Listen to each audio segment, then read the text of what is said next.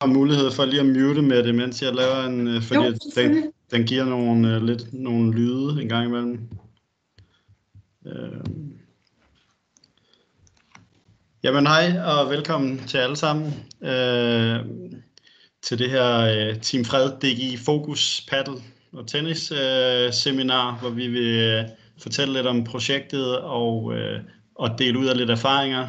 Uh, der er uh, som sådan, så er der lavet, nogle, der er lavet nogle indstillinger fra start, der gør, at, at I ikke kan øh, sætte mikrofonen til, og heller ikke kamera til. Men øh, hvis I har et øh, spørgsmål, hvor I føler, at der er behov for, at, at I ligesom skal, skal bruge mikrofonen, så øh, kan I skrive et spørgsmålstegn ude i, øh, i chatten.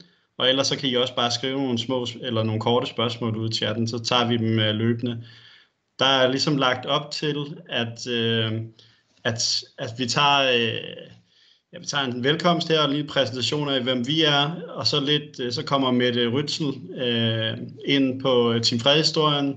Så snakker jeg lidt omkring, at DGI og DTF kom øh, ind i billedet, og så snakker Dorte lidt omkring øh, DGI Fokus og deres erfaringer med børn og unge med særlige behov. Så har vi fået lavet et case-studie, øh, om, øh, om børn med særlige behov i tennis og paddle, hvor jeg lige vil præsentere de, øh, de øh, vigtigste pointer. Og så lidt omkring øh, selve projektet, hvor står vi nu, og øh, hvad er der muligheder. Og jeg tænker, det tager en, øh, en halv times tid, og så har vi god tid til en øh, masse spørgsmål, hvis der opstår der noget dialog efterfølgende. Men øh, hvis jeg skal starte, så er jeg øh, tennis- og paddelkonsulent i DGI Nordsjælland og Storkøbenhavn, øh, og har øh, siden 2019 været en del af det her øh, Team Fred, og ageret som øh, projektleder. Jeg kommer til at snakke lidt mere omkring, hvad jeg har lavet efterfølgende, men det var den korte introduktion. Vil du sige lidt et par ord om dig selv med det? Det vil jeg gerne. Jeg hedder Mette, og jeg har spillet tennis øh, det meste af mit liv. Jeg sidder nu i bestyrelsen i Vium Sogn Tennisklub, hvor jeg også er aktiv på børne- og ungdomsområdet, særligt med, med den her gruppe af børn med særlige behov, øh, hvor jeg har undervist øh, siden 2018 på frivillig basis. Så det var lidt herfra. Og Dorte? Ja, hej med jer. Jamen, øh, jeg kan heldigvis også, heldigvis også tilslutte mig catcher-sporten her, fordi øh, jeg har også spillet tennis, men jeg har nu allermest spillet squash øh, i min fritid. Men øh, det, derfor gør det jo ekstra fedt for mig at, at være med her, øh, fordi det jo også berører en tennis eller en idræt, som jeg synes er fed at have med at gøre. Egentlig så er jeg nemlig ikke sådan idrætskonsulent i DGI, men jeg er det, vi kalder for inklusionskonsulent. Og stort set alle landsdele har sådan en, øh, en person som mig. Og jeg har i seks år nu arbejdet med det, som I også kan høre om, nemlig med DGI-fokusmodellen. Yes, super godt. Så tænker jeg, at vi går, øh, vi går videre til første punkt på dagsordenen, som er øh, Mette, der lige vil øh, lave en indflyvning i forhold til Team Fred, hvordan det startede og så videre, ikke med det? Det vil jeg meget gerne. I 2017 startede jeg op på familietennis i Vium, og der inviterede jeg en dreng ned, øh, der hedder Frederik, øh, som har autisme. Øh, Frederik var omkring 13 år, så han var lidt ældre end målgruppen for vores familietennis, der er børn mellem 5 og 8 år. Men Frederik han øh, savnede et øh, idrætstilbud og kom gladeligt til familietennis hver lørdag øh, i flere år sammen med sin mor og lille søster. På et tidspunkt øh, synes øh, Frederik og måske lige så meget hans mor, at øh, vi, vi manglede et tilbud, som måske var mere målrettet Frederik.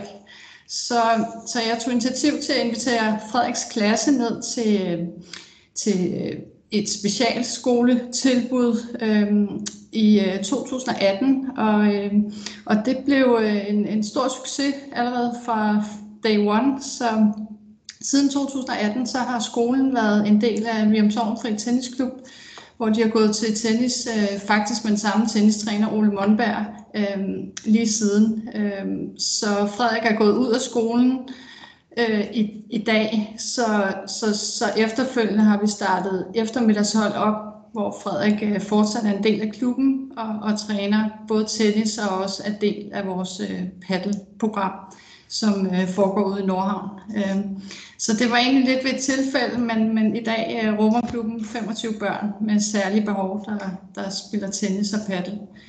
Så, så det var egentlig øh, sådan lidt opstarten på projektet. Øh, mine tanker omkring projektet øh, var måske øh, i starten, at, det, at jeg havde lidt berøringsangst med at arbejde med den her målgruppe. Øh, jeg har aldrig arbejdet med børn med særlige behov, øh, men, men med hjælp fra både lærerne og, og ikke mindst forældrene, så, øh, så, så, så fik vi gang i det og med god støtte, så det egentlig ikke blev nogen udfordring både for mig, som jo egentlig ikke var træner øh, hver gang, men at vi fik stille og roligt arbejdet os ind på, hvordan er det at arbejde med den her målgruppe, uden rigtig at have nogle forudsætninger for det.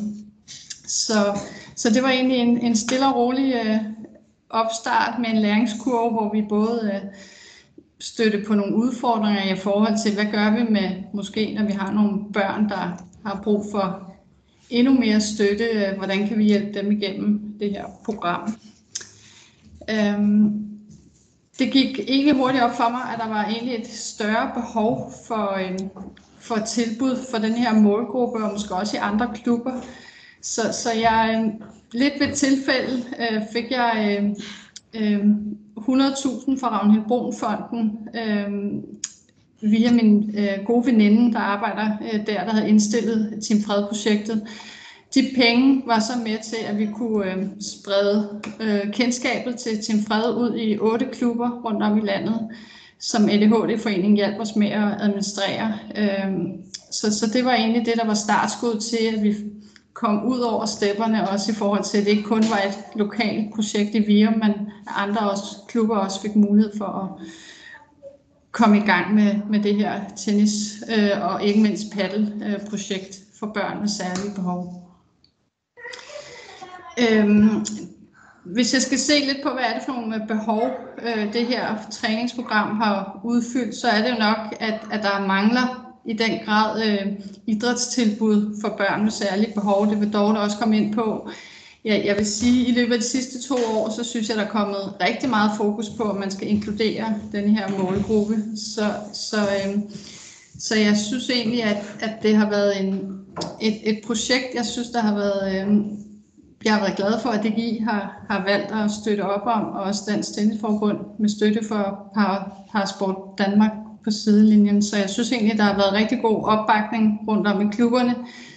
Men, men det kræver noget at starte op øh, et nyt projekt, så derfor håber jeg også, at det her program kan være med til at hjælpe øh, andre klubber.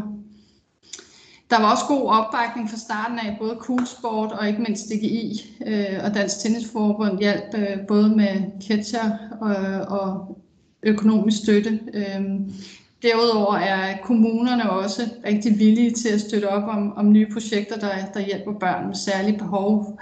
Alle kommuner har en start- og udviklingspulje, som netop er målrettet nye projekter, hvor du inkluderer øh, en anden målgruppe. Derudover har det også lykkedes mig, at det har været et gratis program for, øh, for Virum Sovfri Tennisklub siden 2018. Øh, har vi været støttet af fonde, som jo også er kommet resten af klubben til gode i forhold til, at vi har kunne købe nogle rigtig lækre øh, udstyr, som, som alle medlemmer i dag øh, har glæde af. Om det er kejler eller nye minitennisnet, så, så, så er det noget, der er kommet, kommet alle medlemmerne til gode. Øhm, hvis jeg skal se lidt på øh, de grundlæggende tanker omkring projektet, og hvad det egentlig har betydet for Virum Sorgfri øh, Tennisklub, øh, så har det betydet rigtig meget øh, for, for hele øh, det lokale område. Vi, vi er kommet på landkortet på en eller anden rigtig øh, fin måde, at, at, at øh, at, at der, vi har synliggjort, at, at det også er muligt at, at starte nye projekter op og skabe et fællesskab. Øhm, så jeg synes egentlig, det er kommet ikke mindst en masse børn til gode, men så synes jeg også, at det er kommet klubben til gode, at vi har åbnet op for en ny målgruppe. Øhm, det, det lykkedes i dag, at vi har 25 børn, øh, der går til tennis, øh, enten på et skolehold, øh, eller også så øh, kommer de om eftermiddagen og spiller. Øh, de kommer ikke længere med forældrene, de cykler selv ned i dag, øh, de her børn, og, og tager også gerne del i, i fællesskabet på andre træningshold med vores egne børn og og, og også i forhold til at deltage i vores sommer. øh, og andre tilbud, så synes jeg, at det lykkes øh, for rigtig mange af børnene øh, at blive godt integreret. Hvad jeg har måske har lært af det her projekt, det er, at jeg måske skulle have været lidt mere på forkant i forhold til at engagere øh, endnu flere i klubben, måske også forældre, i forhold til at, at at det ikke er blevet mit eget projekt, men at, at, at der, er, der er rigtig god opbakning for, for trænerne og sportschefen, men, men at det også måske var blevet endnu mere øh, drevet måske af forældre øh, bag de her børn. Øh, så, så, så man skal i hvert fald fra starten af sikre sig, at man, man får noget støtte, øh, når man starter sådan et projekt op. I forhold til øh, udbredelsen, som vi jo nu håber på, øh, som DGI, øh, ikke mindst Jonas her, har knoklet med sammen med det Dansk Tennisforbund, så håber jeg på, at det her nye øh, projekt kan være med til at endnu mere endnu flere klubber kan være med til at forandre Team Fred, så, så det bliver, børnene bliver en del af klubben. Om det så bliver via et skoletennis- eller paddelprojekt, øh, men, men at børnene ligesom får et idrætstilbud, hvor de også bliver en del af et fællesskab. Så, så det er det, jeg håber meget på, at det her projekt, øh, at det ikke virker skræmmende for folk, men at man også måske klubberne sammen kan, kan, kan vidensdele, så man ligesom føler, at man øh, får en god støtte til at starte op. Øhm, jeg, jeg, jeg synes, det har været øh, et rigtig godt projekt, og, og nogle, øh, en børn, der er øh, en børnegruppe, der er rigtig, rigtig glade for tennis, men særligt for paddel. Så, så jeg synes alt i alt, synes jeg, det har været et rigtig, rigtig fint projekt, og også noget klubben øh, der er kommet til gode øh, for, i forhold til den anerkendelse, vi også har fået. Så, øh, så det var lidt om, øh, om baggrunden for Team Fred herfra. Super fint, Mette. Uh, inden vi går videre, så vil jeg bare lige, Dorte, har du, har du mulighed for at holde øje med chatten i forhold til spørgsmål? Uh, fordi at jeg har skærmen her fyldt op uh, med PowerPoint, så jeg kan ikke rigtig se, hvad der sker i, i baggrunden. Det kan jeg sagtens. Og Super. Øh, lige nu er der ikke nogen, der har skrevet noget derude, men det er I jo velkommen til. Og, og øh, Lars, eller du, sørger også for at lukke folk ind. Jeg kan høre, der er nogle stykker, der det har bippet lidt i baggrunden. Det skal jeg nok holde øje med også. Det er godt, Lars.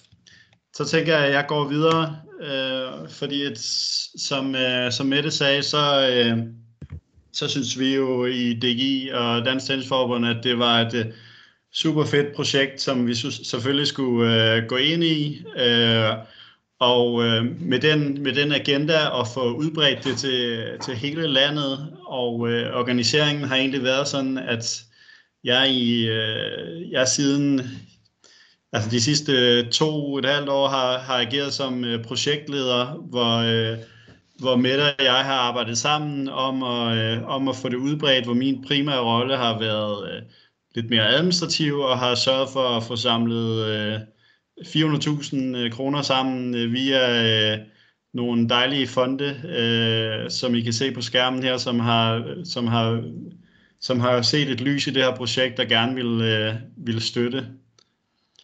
Og, øh, og det, øh, altså, det har fået god, øh, god politisk øh, medvind også, hvor øh, den foranværende kulturminister og øh, Joy Mogensen og øh, Charlotte Bak Thomasen, øh, formand for DGI, øh, var ude at besøge øh, B93 Tennis, øh, og der har jeg lagt et lille link ind. Jeg tænker, at alle, der har deltaget i, øh, i den her seance, de, øh, de får tilsendt PowerPoint efterfølgende. Kan du bekræfte det, Lars? Fordi så kan man jo lige øh, se nogle af de her videoer efterfølgende.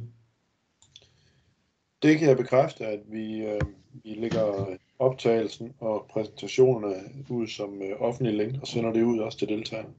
Det er super godt.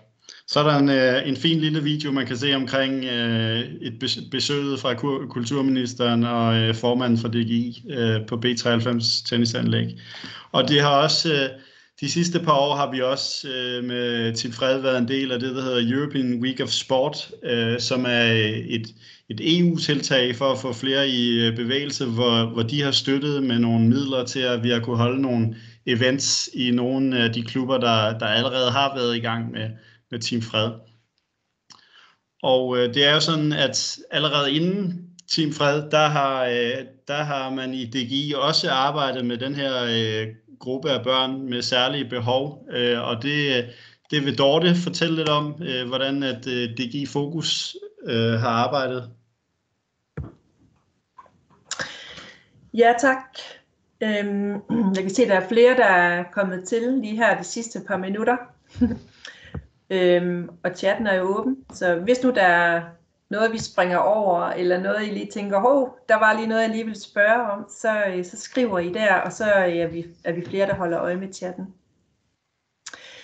Altså, allerførst så vil jeg bare sige, det er dejligt, at I kommer ind i det her rum og lytter lidt til, øh, hvad det er, vi, vi går og laver. Og så synes jeg simpelthen bare, at med Mette, det, det du har startet op, det er jo simpelthen bare guld værd. Altså, vi sidder jo nogle gange inde væk, altså væk fra banerne, og tror noget, og synes noget, og tænker, der må der være nogen, der har brug for det her, øh, og du går derud og har opdaget noget, øh, mens du går rundt på banerne, og øh, har jo bare spottet et, et øh, vigtigt og, og et, øh, et potentiale for, at der er flere, der kan komme til at spille noget tennis og noget paddle.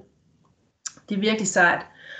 Og øh, vi, vi fulgte dig jo også som på sidelinjen de første par år der, og, øh, og da jeg så øh, sad i en gruppe i DGI, der, kom, der hørte, at øh, nu har vi, vi faktisk gået sammen med dig med det i DGI om at lave øh, en fondsansøgning, så, øh, så tænkte vi, at det, det der, det må vi simpelthen ikke lade, lade passere, fordi vi tænkte, vi kan faktisk godt øh, støtte op om, om den sag, du havde gang i.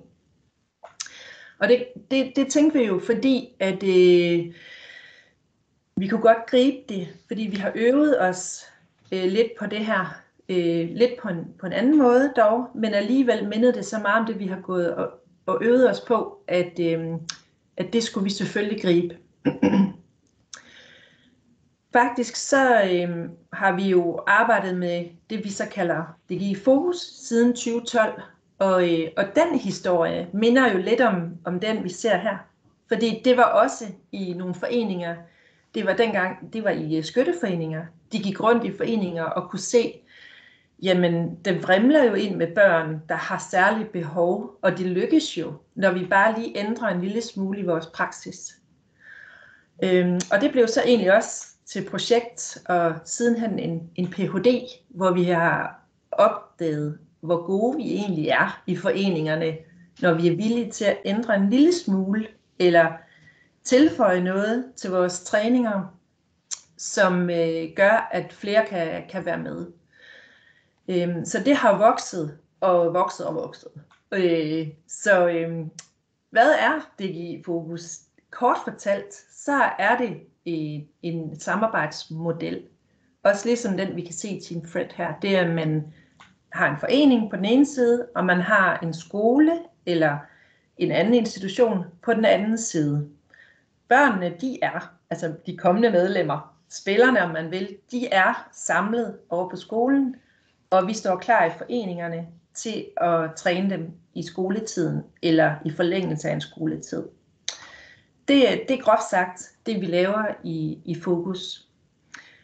Men øhm, faktisk så kunne det være, at øh, vi lige skulle vise sådan en, en lille film. Og nu våger vi os ud i noget teknik, men øh, vi håber, det lykkes for jer alle sammen at se den her lille fokusfilm. Den var lige to minutter.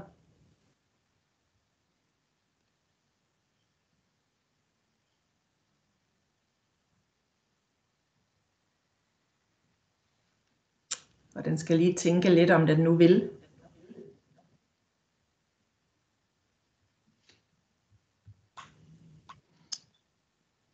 Ja. Ja. Prøv lige igen. Ja. Ellers så, øh, så tænker jeg, at jeg lige går ud af, af den fulde skærm her og afspiller den Lige præcis. her, fordi der virkede, den, der virkede den nemlig sidst, hvor jeg gjorde det. Ja, og mens du gør det, så kan jeg jo prøve at, at sige, at øh, det er jo fordi, at vi vil prøve at lave en lille film, der ligesom fortæller om modellen, og så hvordan vi rent faktisk gør, det vender jeg lige tilbage til, når vi har set den. Og det I også vil se, det er, at øh, det er ikke kun øh, tennis paddle, øh, vi har lavet forløb i. Det er også skydning, som jeg nævnte, men det er også kampidræt, det er e-sport, det er gymnastik og futsal, fodbold, yoga, så vi har egentlig afprøvet modellen i rigtig mange idrætter. Nu Ja. sker der noget. Nu er vi klar. Skal jeg køre den, Dorte? Bum, sæt i gang. Her kommer Dække i fokus. Dække i fokus er en velafprøvet samarbejdsmodel, hvor frivillige og professionelle samarbejder om, at udvalgte målgrupper deltager i udvalgte idrætter og bliver en del af et aktivt foreningsliv. Det kan være mange forskellige parter, der indgår i samarbejdet med afsæt i fokusmodellen. Vi har gode erfaringer med at samarbejde med kommuner, skoler, SFO'er, institutioner, hjerneskadecenter, patientforeninger og mange andre. Målgruppen kan også være mange forskellige. Det kan være børn, der kan stå i vanskeligheder med uopmærksomhed, hyperaktivitet og impulsivitet. For eksempel børn med diagnosen ADHD. Det kan også være voksne med en erhvervet hjerneskade og kognitive udfordringer, eller det kan være idræts- og foreningsuvante mennesker. Digi Fokus er nu afprøvet i mange forskellige idrætter. For eksempel i skydeidrætten, tennis, kampidræt, yoga, svømning og e-sport. DG Fokus er nu udbredt i hele Danmark med forløb i mere end 40 kommuner. Over 40 institutioner og foreninger har indtil videre medvirket med over 4.000 deltagere, hvor en del af dem er fortsat i foreningslivet. Helt centralt i fokusmodellen er, at DGI-konsulenten koordinerer og faciliterer samarbejdet mellem frivillige og professionelle. Vi har mange års erfaringer med at bygge bro mellem målgruppen og foreningslivet, så alle parter oplever glæde og meningsfuldhed ved at deltage.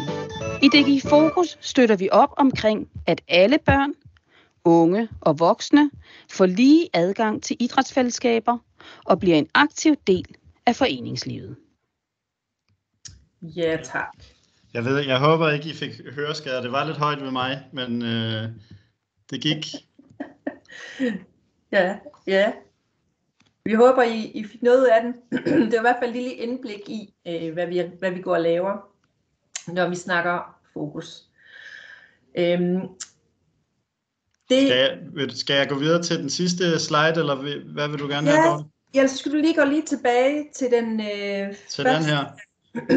ja, det er sådan, at øh, vi har sådan en flyer, hvor vi også beskriver, hvad fokus er. Og øh, vi bruger også, også ord som foreningsfællesskab, og vi bruger også ord som idræt for alle, og vi bruger ord som tilpasset, fordi at øh, det er jo det, det handler om, når vi vil have flere med ind i vores forening, så er det jo også at se på, jamen, øh, hvordan kan vi måske ændre lidt, sådan at der egentlig er plads til flere.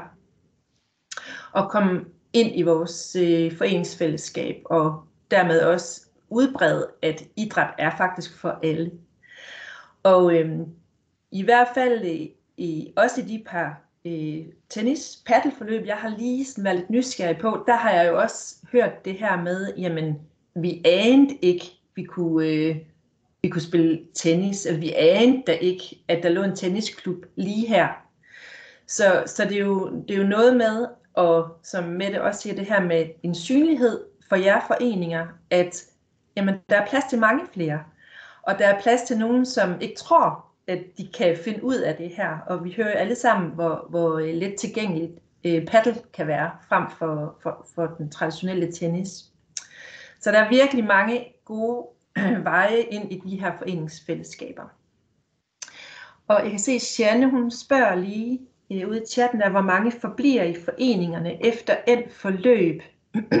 altså, øhm, ja, altså jeg har faktisk ikke nogen tal på det, men øh, det, og det er et rigtig godt spørgsmål, fordi at, øh, det er jo lige præcis det sprængende punkt, hvor mange bliver.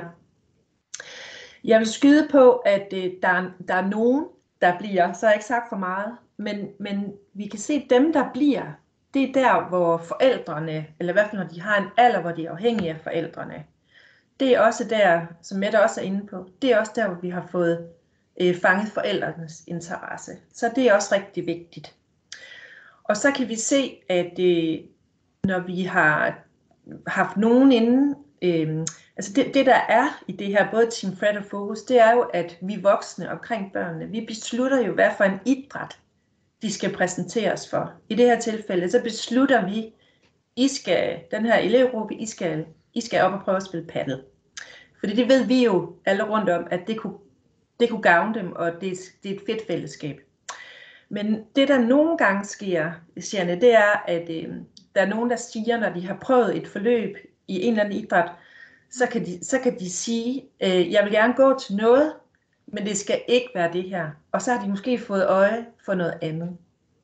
Så tit er det egentlig øjenåbnere for den her type børn, som måske har i hvert, været i en forening før, hvor det ikke var nogen succes. De har måske prøvet at starte til fodbold eller til gymnastik, hører jeg ofte, at, at kravene har været øh, sat for højt ret hurtigt. Øh, men de, vi oplever, at de egentlig får mod og lyst og motivation til at være en del af noget foreningsliv. Og hvorfor det? Øh, det tror jeg, det er fordi, at den, den måde, vi laver de her forløb på, øh, dels laver vi jo kæmpe forarbejde. Altså, inden vi sætter i gang, at øh, vi får snakket med dem, der kender børnene bedst. Vi, øh, vi spørger, hvad er det for nogle hensyn, vi skal tage til, til den her børnegruppe. Og øh, jeg vil bare sige, vi spørger sådan set aldrig rigtigt om diagnoser, fordi diagnoser, det kan være alt muligt.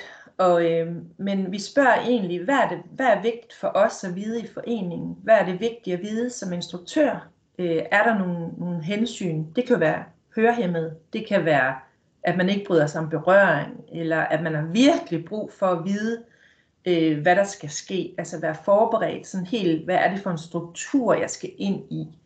Og vi sikrer os også, at de får en forforståelse af, hvad er det for en idræt, de egentlig skal ind og, øh, og træne. Øhm, så det er i hvert fald en ting, det her med, at de får en forforståelse for, forforståelse for det. Og så et andet parameter, det er, at øh, når børnene så kommer over til foreningen, over til jer, så er de jo i følgeskab med kendte voksne, som de i forvejen er trygge ved, og som de kan øh, også lade sig guide af, eller spørge, hvis der er noget, det er i tvivl om. Lidt andet. Og så er det også det her med, at vi, vi prøver at tænke øh, i små hold. At man aldrig får mange øh, til træningen her. Øh, og, og et andet vigtigt parameter, det er egentlig også, at vi jo udnytter en facilitet, hvor der ofte ikke er andre i paddelhallen, eller i tennishallen, eller på tennisbanerne, fordi det ofte er de her formiddag eller tidlige eftermiddagstimer, hvor øh, der ikke er alt for mange forstyrrelser. Og det, det giver jo basis for sådan lidt mere større, øh, større opmærksomhed og større mulighed for at kunne koncentrere sig om det, man skal. Og så følger vi jo op undervejs. Altså, øhm, vi øh, sidder jo nogen som mig rundt omkring i, i DGI, og øh, når jeg nu siger sådan nogen som mig, fordi det kan være, det kan være, det er tenniskonsulent i jeres område, der følger sådan noget her. Det kan også være en som mig, der ikke har en idræt, men arbejder med, med, med det her inkluderende fællesskaber. Øhm, det kan også være en tredje. Vi har i hvert fald i DG Midtjylland nogle, nogle strategiske frivillige, som også kunne være nogen, der følger op på, øh, hvordan, hvordan går det undervejs. Hvordan er niveauet for træningen? Skal vi skrue op for noget? Skal vi skrue ned for noget?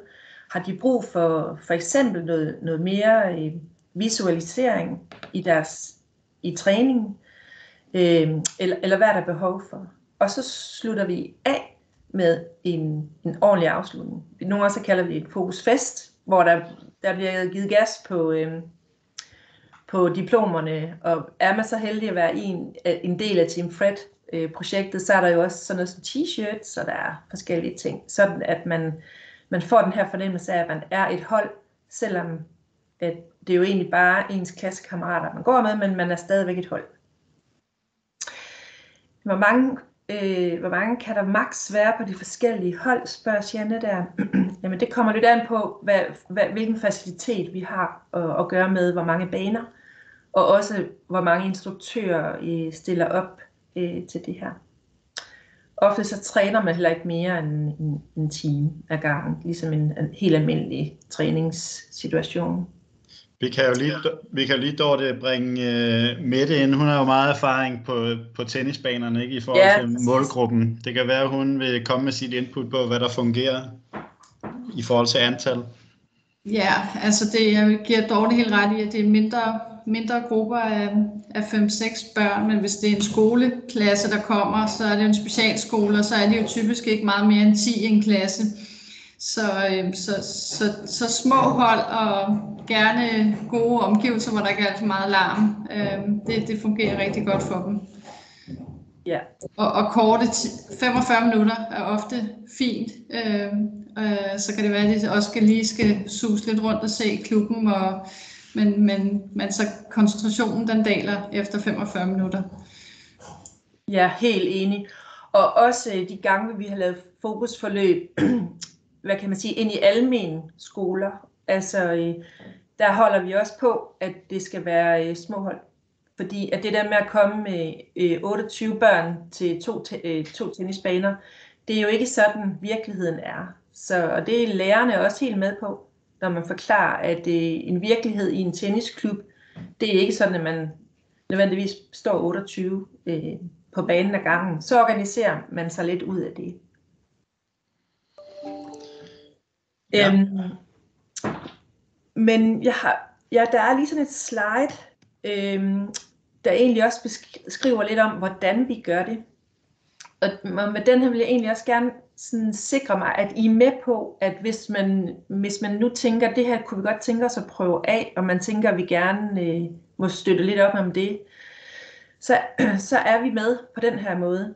øh, at øh, vi hjælper gerne med at matche jer med en, med en skole eller en institution. Og øh, ofte så, så kender I allerede, fordi I garanteret I allerede er i gang med noget samarbejde med en skole.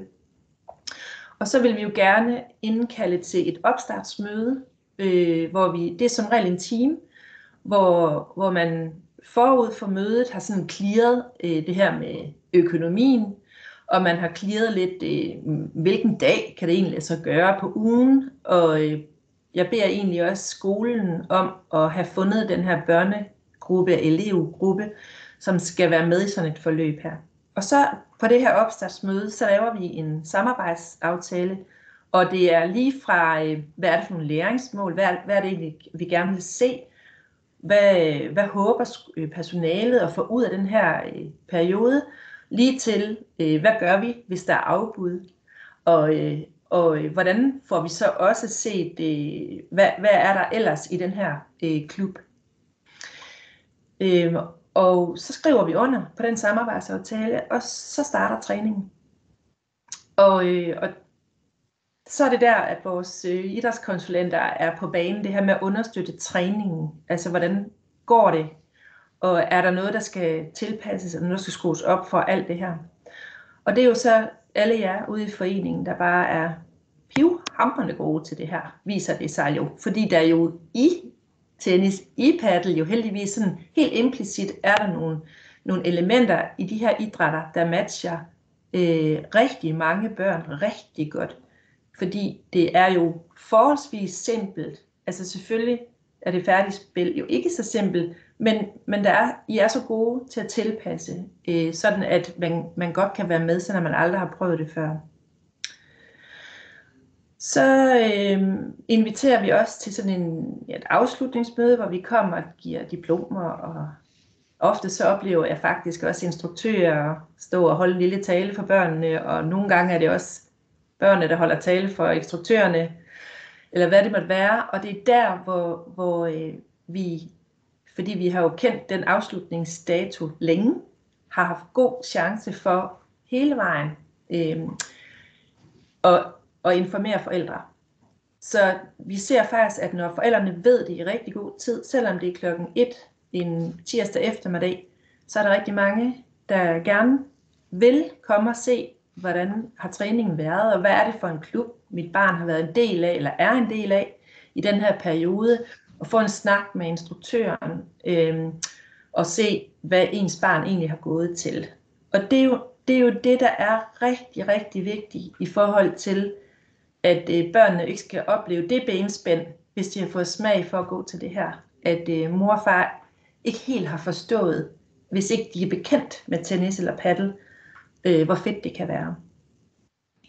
Så det er noget, vi starter med at invitere dem til helt på opstartsmødet. Og der, der leverer vi sådan en skabelon til, øh, til skolen, øh, som de bare skal tilpasse. Og så kan de sende den hjem øh, på Aula, Aula på skolernes intranet, eller printe ud og lægge i børnenes taske, alt efter hvordan man gør det sådan at forældrene er informeret om, at nu går deres barn til tennis paddle i skoletiden.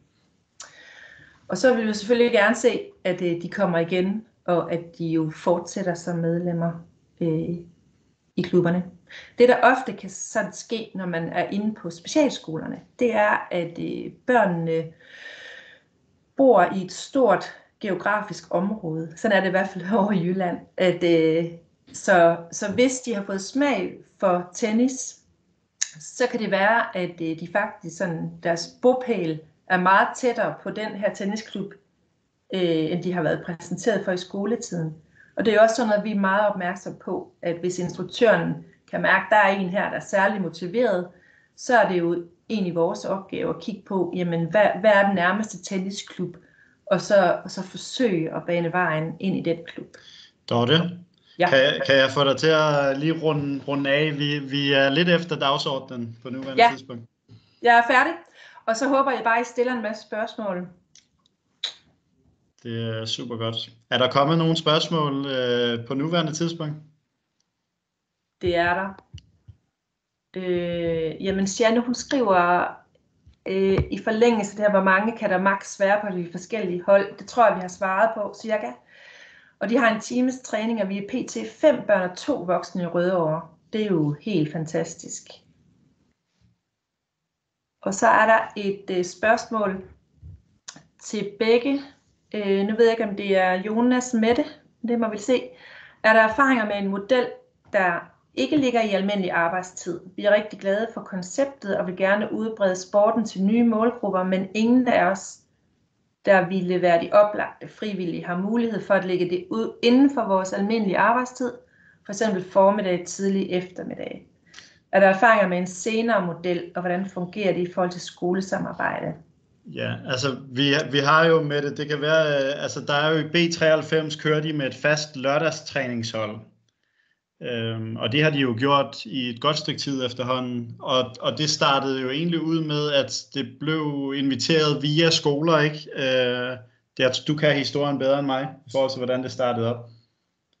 Jamen, det startede op som et skoletennisprojekt, øh, og det, det, det blev egentlig afsluttet, men rigtig mange af børnene fortsatte om lørdagen øh, i B93, øh, hvor skolelæreren, selvom det ikke har været et skoleprojekt, faktisk har støttet rigtig godt op om, om det her projekt, og de er faktisk cyklet på tværs af byen, de her børn, ofte alene, for at komme til, til træning i B93, fordi de synes, det var sådan nogle øh, gode, trygge rammer, øh, de oplevede. Så, øh, så, så, så det, det kan godt være en... Øh, I Vium har vi jo også et eftermiddagshold, så man kan sagtens køre begge modeller, hvor det så måske kan være forældrene, der støtter op om, om børnenes introduktion til tennis i stedet for lærerne. Så, så det synes jeg sagtens, man kan køre den model også.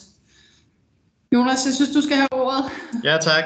Så tænker jeg, at jeg lige går videre med, øh, med øh, case-studiet, som vi har fået øh, phd Anne-Grethe Gård Monson til at, øh, til at lave os. Hun har øh, tidligere lavet det omtalte øh, phd projekt inden for øh, DGI Fokus om skydning for øh, børn med særlige behov, og nu har vi, øh, har vi brugt nogle af vores midler til at få hende til at kigge på, øh, på øh, på tennis og paddle for børn med særlige behov og undersøge potentialer og begrænsninger, og det gjorde hun øh, øh, det, har hun, det har hun så gjort for os og, øh, og udarbejdet en, øh, en rapport, som man kan finde via linket, jeg har lagt ind i PowerPoint her. Og hvis jeg lige skal gennemgå de vigtigste pointer, som hun kommer frem til, så er det, at øh, trænerprofilen er, er, er altafgørende øh, for, at man skal lykkes med det her. Og det gælder om at finde en træner, der er pædagogisk positiv, og så øh,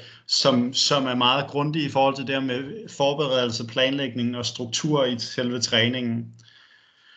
Og, øh, og så er det det her med fokus på øh, krop og koncentration. Øh, altså at det her med, med det snakker om de 45 minutter, del det også op i nogle endnu mindre bidder og have nogle afgrænsede, strukturerede øvelser. Hele tiden sørge for, at de ved, hvad de skal, øh, børnene, og sørge for at og, og øh, have, have, den her, øh, have den her struktur i træningen, så man fastholder opmærksomheden og koncentrationen.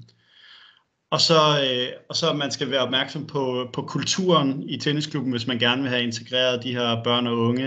Øh, at man skal være parat til at, til at tænke anderledes for at få den her mangfoldighed og forskellighed ind i, i foreningerne. Øh, og så er der, så er der den, selve den økonomiske del, hvor hun, øh, hvor hun så lidt en, en øh, begrænsning i forhold til, at mange tennisinstruktører er... Øh, er, er lønnet. Øh, så, så hvis man skal finde en bæredygtig model, kunne det være, at man skulle tænke øh, i frivillighed, øh, og at, at som Mette sagde, at man måske kunne øh, tænke til at starte med nogle øh, kommunale øh, puljer, men efterfølgende få et samarbejde op og køre med, med øh, en øh, specialskole, som, som måske kunne betale lidt for selve forløbet, hvis man vil lave et fast samarbejde. Det kommer vi også lidt mere ind på senere. Hvordan, øh, hvad er status nu for Team Fred i 2022? Vi har fået en masse øh, midler ind, som vi har brugt på at øh, udvikle en masse ting, som øh, jeg vil komme ind på øh, lige om lidt. Men øh, via de midler, der, øh, der har vi haft mulighed for at øh, lave en, en øh, opstartspakke, som, øh, som, som er, er mulig at få for de første 15 klubber, og øh, der er sikkert nogle af jer, der repræsenterer nogle af alle de her klubber, som, som allerede har meldt sig ind. Øh, nærmest skuffesal, kan man sige. Det er, øh, vi er blevet væltet med, øh, med interesse til, øh, til kendegivelser i forhold til at, at blive en del af det her projekt her. Men, men øh, og, og øh, man skal være velkommen til, hvis man ikke står som en af de 15 klubber her, og, øh, og kontakte mig og komme på en form for venteliste, hvis nu der er en af klubberne, der springer fra. Og som vi vil fortælle om lidt senere, så er det ikke sådan, at man ikke kan starte, starte træningen op, hvis man ikke er en del af de her 15 klubber. Det, man har bare øh, nogle ekstra goder øh, via den opstartspakke, øh, som, som vi kan tilbyde. Og for lige hurtigt og, og, og lige fortælle om den her opstartspakke, så var det, som Dorte nævnte tidligere, øh, nogle t-shirts. For at gøre det øh, lidt mere overskueligt, så har jeg øh, sat med rødt det, som er ligesom er... Øh, det som ligesom er tiltænkt de 15 klubber, der er en del af, af de her øh, fulde opstartspakker, og så er der noget grønt, der, øh, der er tilgængeligt for, øh, for alle. Der er de t-shirts, så er der et øh, hæfte, vi har brugt vi har brugt øh, nogle måneder på at udarbejde et, øh, et fokushæfte, som, øh, ja, som vi er blevet ret godt tilfredse med, hvor der både er øh, noget introduktion til Team Fred, og så er der noget information, øh, som Dorte var inde på, øh, i forhold til, øh, hvilke Altså hvad man skal tage hensyn til, når man arbejder med den her målgruppe. Øhm, der er nogle gode råd fra tidligere Team Fred-foreningen, øh, hvor Mette blandt andet har bidraget, og øh, Rødovre og B93 osv. Øh, og så er der noget i forhold til den her struktur, jeg snakkede om, hvordan man skal opbygge øh, lektionerne. og så er der en øvelsesguide med 10 øh, paddeløvelser og, og øh, der er 6 paddeløvelser og 6 tennisøvelser og øh, nogle forskellige fælles øh, opvarmnings- og spiløvelser. Så øh, så, øh, og det ligger, øh, det ligger, hvad hedder det, helt øh, gratis, øh, kan man hente det ned øh, ind på vores hjemmeside. Jeg har lagt et link ind i, øh, i PowerPointet her. Øh, hvis man trykker på her, så skulle den gerne øh, downloade det. Og så kommer vi til at afholde nogle workshops til foråret, som er primært øh, fokuseret på, øh, på den pædagogiske øh, del af, af det at være instruktør øh, for den her målgruppe, hvor, øh, hvor vi øh, kommer til at øh, arrangere nogle øh, workshops. Vi regner med en til to i Jylland, og i hvert fald en enkelt i øh, Region Hovedstaden. Og der er også nogle fripladser, hvis man er en del af de her 15 klubber, ellers så kommer det til at koste lidt penge. Øh, sikkert 250-300 kroner per person øh, kunne, kunne et bud være. Øhm, og datorerne og så videre, de er ikke øh, fastlagt endnu, men vi skal nok sende information ud, når, der er, øh, når, vi ved, når vi ved mere omkring det. Så er der en materialepakke og øh, nogle, øh, nogle, nogle midler til øh, valgfrie udgifter, og så er der noget, øh, noget konsulentstøtte. Øh, og så er der så den her pulje øh, fra Leslie's Tennis Foundation, øh, hvor, øh, hvor der kan søges op til 1000 kroner per barn øh, for de børn, der, der har været en del af selve skoleforløbet, og som godt kunne tænke sig at blive integreret og fuldgyldigt medlem. Der kan være nogen, der har nogle økonomiske udfordringer, der kan være noget, der kan være nogen, der mangler noget, nogle materialer, en tennisketcher, øh, og så kan man så søge den her pulje, øh, i forhold til at, øh, at få noget støtte til de her børn, så de ikke øh, har nogen barriere for at komme i gang. Skal jeg se, om jeg kan komme videre her.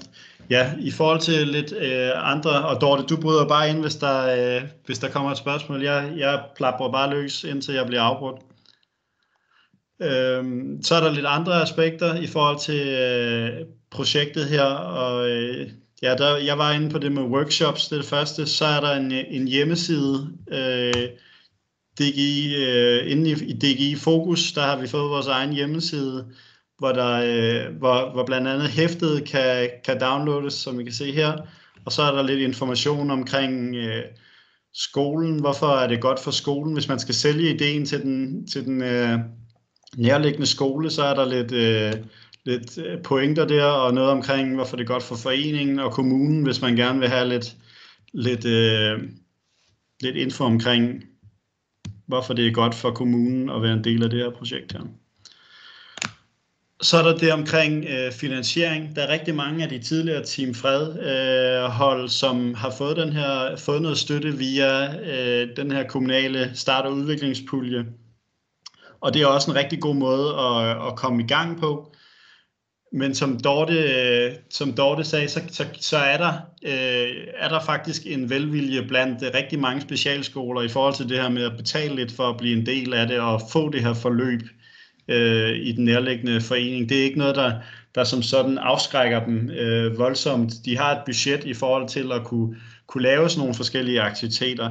Så, så det er at gå ind i en dialog, og hvis, hvis skolen ikke... Øh, er parat til at, til at lægge det, det, det kræver, så kunne det være en mulighed at, øh, at søge en, øh, en start- og udviklingspulje. Og der har vi, der har vi øh, rigtig god erfaring, både hos øh, Mette og Lars, som er med i dag, øh, som fra Vion Sovnfri og henholdsvis øh, Randers Tennisklub har, har fået, øh, fået fine bevillinger, og Hillerød har også fået. Så, så øh, så, så vi har mange erfaringer, så I, I øh, kontakter os endelig, hvis I har brug for noget sparring i forhold til øh, finansieringen.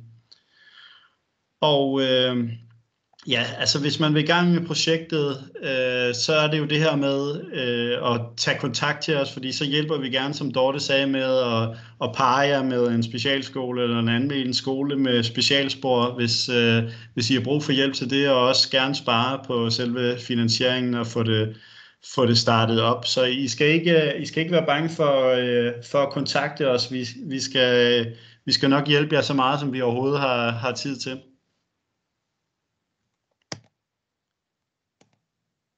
det var umiddelbart, øh, umiddelbart det, jeg havde. Så, øh, så har vi i hvert fald 10 minutter til lidt spørgsmål og noget øh, dialog. Jeg ved ikke, øh, Mette, Dorte, det kan også være, I har noget at tilføje i forhold til det, jeg, øh, jeg fik sagt.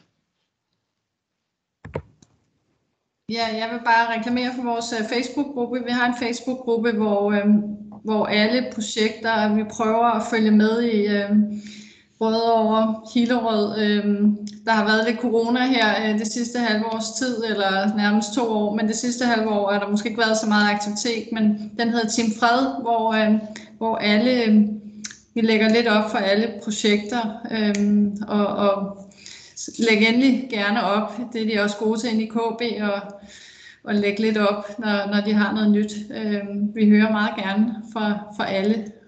Godt input. Jeg, jeg tænker, at jeg lige redigerer i øh, PowerPoint og får det lagt ind og også link til, øh, til Facebook-gruppen. Det var, øh, det var godt input med det. Så vil jeg, skal jeg måske godt lige tilføje, at minitennis er en rigtig god øh, idé at starte op med, øh, for en stor tennisbane kan godt virke lidt uoverskuelig for, for, for børn. Så, så succes med, at man kan få den lidt over, over nettet med, med minitennis som med andre børn, det, det, det, det synes jeg, vi har rigtig gode erfaringer med. Og, og, og særligt paddle, øh, er der et eller andet med det her bur, de, de, de, det er et eller andet øh, lille afgrænset område, som, som de rummer. Øh, så så, så det, dem, der har mulighed for paddle, det, det, det, det har de bare øh, rigtig stor succes med og synes er sjovt. Så vi har desværre ikke paddle i Vium, så vi kører rundt. yes. Ja. Jeg synes, det var meget fint, det du sagde, Jonas. Jeg kan kun tilslutte mig det hele. Jeg er også spændt på at høre jer derude, øh, hvad I tænker, og øhm, om deres spørgsmål, om hvad I sådan lige tænker umiddelbart om, om sådan en indsats her i jeres forening.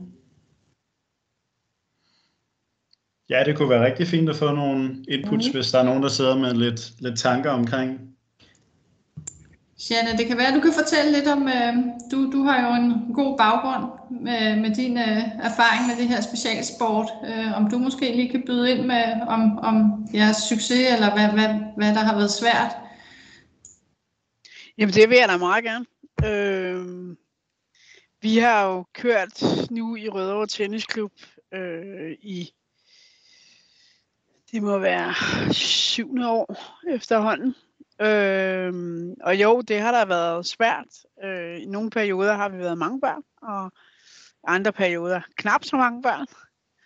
Øhm, men, men det der er i det, det er, at, at man skal... Det, det, det alt afgørende er også, hvad det er for nogle træner, vi har med at gøre. Altså, er det nogen, der rummer dem? Øh, det må ikke bare være en, der... Øh, en, der ikke kan afkode deres måde at se verden på. Øh, vi har mange autister på vores hold. Øh, og de skal, de, du skal snakke lidt anderledes til dem. Øh, og det, det har den ene af vores trænere på et tidspunkt. Det havde hun rigtig svært ved, og de forstod hende ikke. Øhm, fordi hendes mik, den var ikke åben, den var mere lukket. Og det gjorde til, at når hun bedte dem om noget, så løb de bare den anden vej. Øhm, så, så vi har haft, vi har, jeg tror, vi har været igennem samtlige Hosa Ups forløber. Men, men vi er landet et fantastisk sted nu, og har fået fem fantastiske på holdet øhm, af drenge. Øhm, og det er fra ja, det er fra 5. klasse op til alderen 22 på holdet. Så vi er ret spredt, men, men, men størrelsesmæssigt, der er de store sammen, og så de små sammen, og det fungerer bare fantastisk. Så jo. Det er godt at høre. Tak for indsatsen. Og tillykke med den fine nominering i øvrigt. Tusind tak. Med Passport, tak. Med Passport Danmark-prisen. Det var meget, meget flot. Ja, men det er vi også meget, meget stolte af.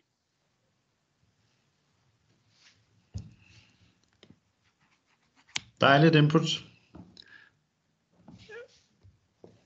Er der, øh, er der flere inputs eller spørgsmål. Ellers så er man også jo selvfølgelig velkommen, nu kan jeg sætte den næste på, øh, man er velkommen til at, til at skrive eller ringe til mig, øh, hvis man vil spørge øh, mellem ja, alt mellem himmel og jord. Altså, så, så er jeg ikke bange for at kontakte mig. Jeg har via de midler, jeg har, øh, jeg har, jeg har fået skaffet til projektet, så har jeg nogle timer til projektrollen, som jeg gerne skal øh, få brugt på den bedst mulige måde. Og det, så jeg tager gerne en, en, en snak med jer øh, i forhold til, øh, hvordan vi kan få hjulpet jer i gang, hvis I gerne vil i gang med at, at arbejde med målgruppen. Har du mere, Sjæne, eller var det hånden? Nej, nej, ja, men det, det er fordi, at jeg tror, at Kirsten har et spørgsmål. Det, det står i hvert fald på min skærm, men jeg ved ikke, om hun har fået svar. Uh, var det i forbindelse med det her med øh, at lave, ja, Kirsten har fået svar, det var det her med, at man kunne lave de her forløb sådan øh, senere, senere på dagen. Og det kan man jo sagtens. Det behøver jo ikke at være i skoletiden, eller i SFO eller klubtid. Slet ikke. Nej, men erfaringerne, de, de, at, altså de siger, at, at, at hvis man kan starte et trygt sted, øh, som, som, øh, som sådan en form for skolesamarbejde er, hvor man har nogle, nogle trygge øh, pædagoger og så videre, og det foregår i skoletiden. Det er, en, det er en god måde at starte op på, men hvis man laver en form for familie, øh, hvor forældre og så videre er en, er en del af det, så kan det sagtens lade sig gøre at starte op på den måde også. Ja, jeg kan måske lige runde af med Janne, det der med, øh, hvordan man taler til de her børn. Det, det, det er vores unge, forholdsvis unge trænere, der har været fast på det her projekt med mig på sidelinjen, øh, har efterspurgt, det er netop, øh, hvordan er det, man kommunikerer. Øh, det skal være korte beskeder og korte intervaller, øh, så, så derfor vil jeg give Janne ret i, at det, det, det, det kan godt være en barriere, hvis man, og derfor er den her uddannelse, vi alle sammen skal på, øh, rigtig vigtig for, at man får succes med projektet fra starten af. Ja, helt bestemt med det. Og, og man, det man også kan sige, at øh, med alle de her tips til det her, for eksempel hvordan man kommunikerer, og hvordan ens mimik er, og blandt andet også det her brugen af humor og ironi, det er ikke altid så heldigt, når man i hvert fald har børn inden for autismespektret. Men det viser sig jo også, at det, når vi som instruktører øver os i det hele taget på at være meget tydelige og konkrete i vores instruktioner i vores anvisninger, så får alle, øh, alle, alle spillere får mere ud af den måde, vi kommunikerer på. Så, så i hvert fald ofte det, vi hører fra vores øh, kurser her inden for det her, det er jo, at de tips og tricks, man får i værktøjskassen, det gælder på, på alle hold. Helt sikkert.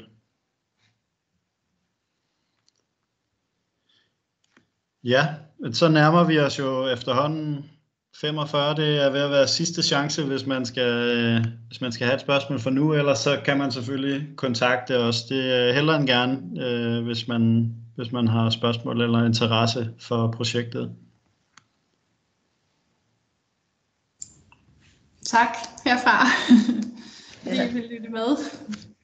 Ja. ja, jeg håber, det kunne, det kunne bruges, og at, øh,